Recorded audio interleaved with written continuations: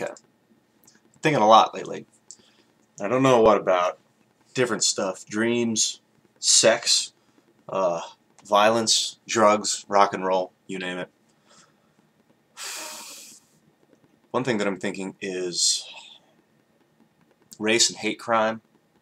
Firstly, they're like, we, this kid got lit on fire, this 13 year old boy by two other kids. And the police are like, we're going to try and figure out if this is a hate crime. And it's like, well, wait. Two dudes lit a guy on fire. I have a feeling hate was involved.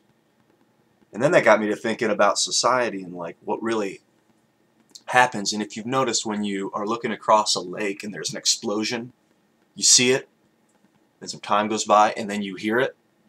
Same way with interaction. Same way with the videos we make on YouTube. Same way with the things we say to people. We say it, and then they hear it. Or we say it, and then three years later they hear it. It's the way it works. It's the way society works. We're planting the seeds. We're seeding the plants.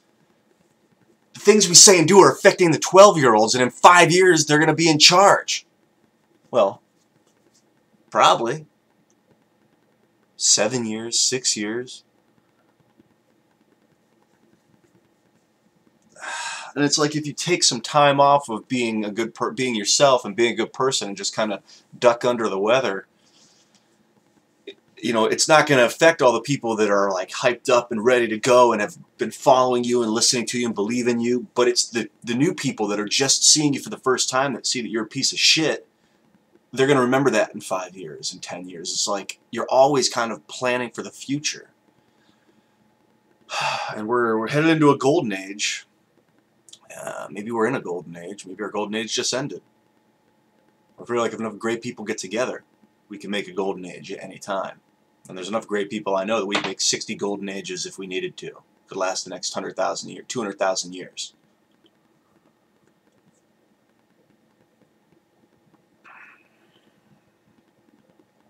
Uh, I guess my conversation would be a little more focused if I was talking directly to someone. So I'll say hello, hope you're doing well. Um, you can do anything you want to do. So do it. Sometimes I wonder what I want to do. I'm like, well, I mean, I could do, I could draw some pictures and put them online. And you know what I noticed? All these little things that are like, they seem so insignificant. It's like, I just want to do, you know, I could do a little thing like writing a song or like drawing a picture or, or writing a, a, a short paragraph or a novel or story. These, these little, these little intricacies that we offer to society, little pieces of art or whatever. You know, you can go, you can go build a build a little a wooden chair on the street corner, and it's a piece of art, you know, or like all these little things. They they don't seem like much when you do it. Like if you're if you're worried about effect. I'm sorry that the video just cut out. Uh, if you're worried about affecting people, it's like you do these little things like I'll, I'll, draw a picture and I'll make a YouTube video and I'll put a song on it and you know, you know see the picture. And it doesn't seem like much. But looking back on life, all those things are so important. They, they, they, they're like each a page in the story of your life. And you're, no one of them really stands out or should really stand out. Or maybe sometimes one thing does stand out, like a particularly when people do really bad things, that one bad thing usually is the thing that stands out. But you know, you can do really good things, and those can stand out as like a great part of the story. But like, it's they're all they're all legs, you know. They're all like you're building a house of cards, basically, and each one is a little piece. And all these things that like I haven't done that seem like overwhelming, like writing a book, like really writing it, like sitting down and taking the two hours a night for the next 60 nights to write it is like, ugh, two hours a night Ugh. But like,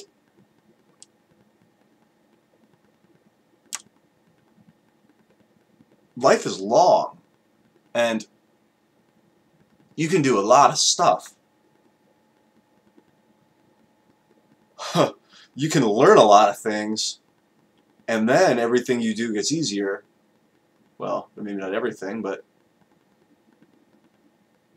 you don't have to think about stuff as much the more you know, the more you remember.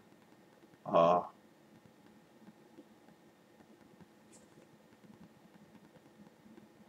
I'm a little all over the place. I've been a little all over the place for a while.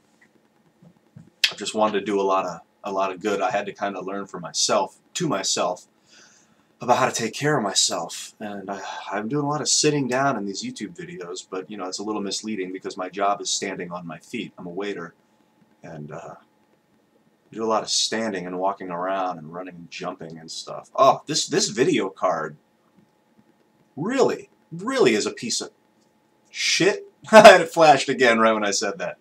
It's a good video card. Thank you, video card, for being there, working sometimes, usually, most of the time, 99% of the time. And fuck you for blinking, flashing, and causing me chaos when I'm trying to use my computer sometimes. No, but it's a gracious, wonderful piece of technology, and I'm really glad that I have it. I feel bad for these people that don't have it. I just have this like mask of people, like African people that I don't know that I've been like led to believe are like less than that have less than. It's like, yeah, I don't want to generalize anything. I'd rather just just use this stuff and probably just use this at some point and just do some stuff, you know. And maybe you just be a friend as clumsy as you seem. You guys like that song, Clumsy by There's No One Laughing? Uh-oh. That was copyright violation. What a stupid fucking world we live in sometimes, man.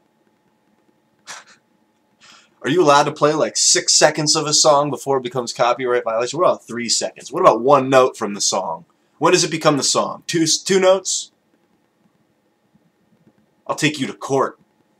No, I'm just kidding. Don't take me to court. Um, I've grown a lot not worrying about projecting uh, an image. Oh, I found out what pathetic means. Pathetic, it comes from the Greek term about worrying about what the audience thinks. That was considered patheticism, is when someone would worry about what the audience was thinking. And the less pathetic I've gotten, the more I've been able to learn a lot about myself and have learned a lot about myself. And when I mean learn a lot about myself, I mean I can feel the liquids and the moisture flowing through my body. Like if I have a sore throat or stomach, I know why. It's because stuff's not circulating properly, and all you got to do is stretch it out.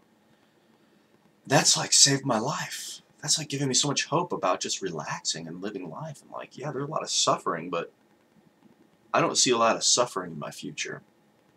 But maybe it's because the things you don't see are the things that invigorate you the most.